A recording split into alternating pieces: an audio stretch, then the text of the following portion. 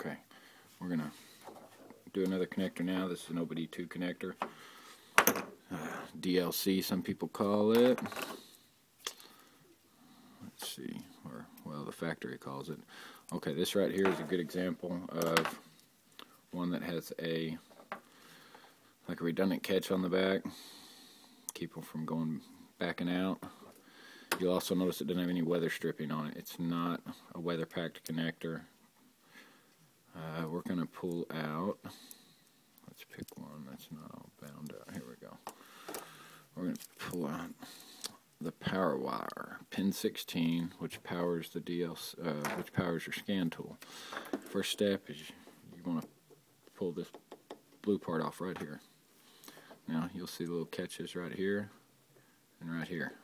Those just kind of snap in, have little tits up, where they catch on right there. I like to put we're not using our special tools. We're using our picks and uh, a couple other things I'm going to show you that help out if you're doing automotive electrical. This one's got a little bent tip on it. Okay, I'm just going to insert it in the back side of that and I'm going to kind of push it down. Flat tip screwdriver. Pull it out. Same thing on this side. It's not really going to go down. It's not a it's not really supposed to go down. You're just kind of prying up to push it down a little bit. It's going to pop right out. See, it's just little tits. Got that one a little bit bent, it's okay.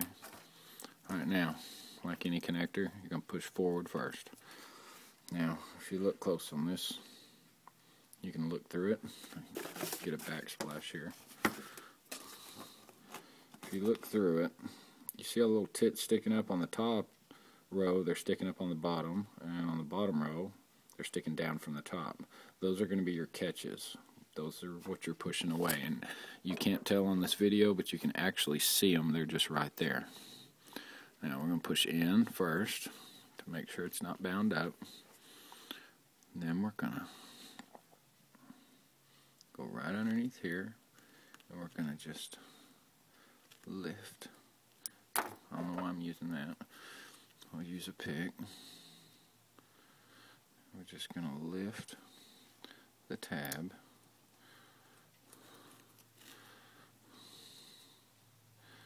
Lift the tab a little bit. You got to be real careful not to break these tabs. They are real sensitive. And then you're going to find some way to lift the tab and hold it up while you're pulling it out. Push it back in lift the tab up, and just slide right out. And that's it. This is a little bit different than the other ones we were working with. You'll see on the side that catches, there's just a hole. There's no little catch that pops up there.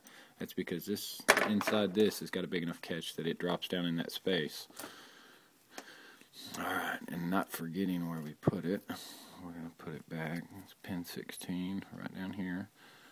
Don't forget where it goes. And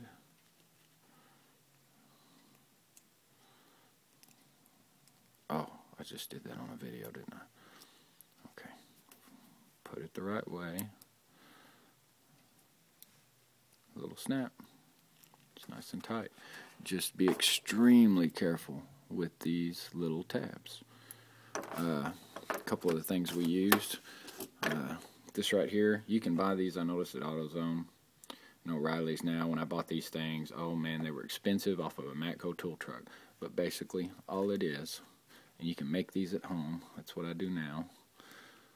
If I can get the piece off. Okay, I can't. Uh, it's a needle and an alligator clip. That's it great for diagnosis. Just don't rape the pins, sticking that into them. You will spread the pins too much and cause a bad connection.